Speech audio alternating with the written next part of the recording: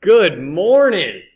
727 Southwest 212. We're going to be solving for a sphere right here. Okay, so I wrote down the formula for the volume of a sphere. And we have the volume for the sphere. We're going to actually be solving for the radius. The weird thing about the sphere is it doesn't have a height or a, or a base or anything. It only has radius. That's the only variable. So I'm going to quickly draw a sphere. So if you don't know how to draw one, here's how you draw one. Just draw a circle. That turned out actually pretty good. Wow. Okay. Next thing you do is just draw kind of a curved line in front of it, across in the middle, and then you'll do the same thing around the back, but you'll make a dashed line like this.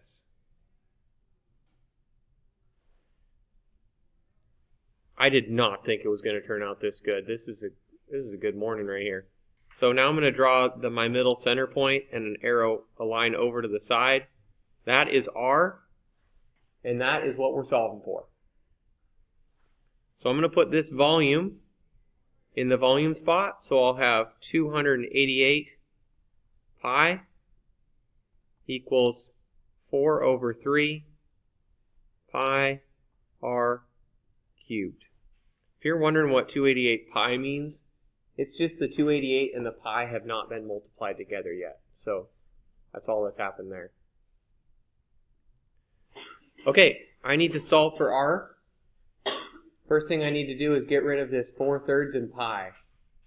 I'm going to deal with the 4 thirds first. If you didn't remember, you can get rid of a fraction by multiplying by the reciprocal. So I'm going to multiply both sides by the flip of that fraction.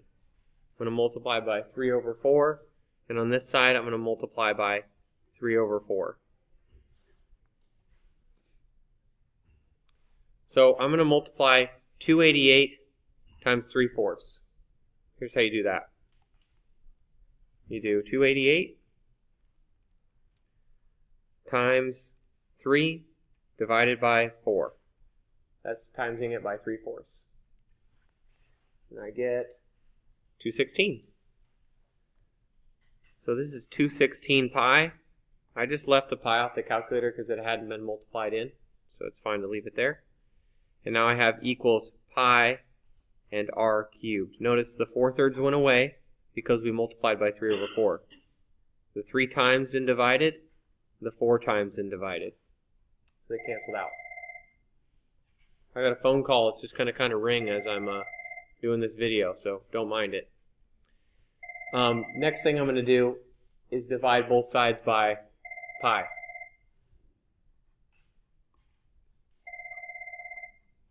Still ringing.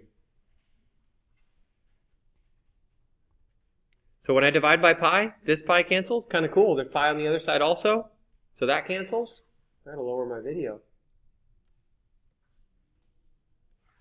And now I've got just r cubed. So this is just 216 because the pi is perfectly canceled. My last step, I need to get rid of a r to the third power. You have a button on your calculator that does that. That's this uh, x root key. So we're going to use that. First thing I'm going to do is uh, type in a 3. Then I'm going to hit second. And then I'm going to hit that x root key. And I'll just type in the number I have there. Uh, 216. Actually, I should probably write the cube root on the top of both of those. And now I've got r equals, turns out it's 6. So the radius of that is 6.